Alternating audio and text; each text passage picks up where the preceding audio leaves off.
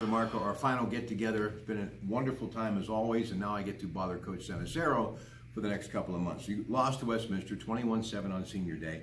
Uh, Geneva won first down in the first quarter, scored on a 23 yard run from a Trey Marshall. That tied it at seven. Defense held strong, just couldn't get the offense going. Those were your comments on senior day.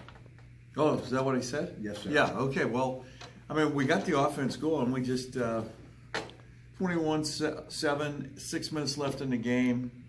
Uh, we dropped the ball on the one yard line going in. Uh, that doesn't happen.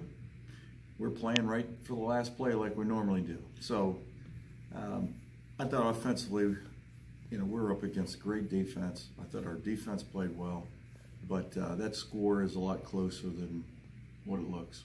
Hey, you, you wrap up the season Saturday against Carnegie Mellon, uh, November 17th at 1 o'clock just kind of summarize where you are with this program and moving forward. Uh, you know, I always see great strides, but that's me, and I know everything's judged when the form of wins and losses, and it can be better. But I don't know. I had a chance to see these young men walk off the practice field as the snow was coming down tonight. Head still up high, still lots of inspiration, very emotional. I, hey, it's about building young men, their their spirituality, and who they are as people heading into civilian life after college.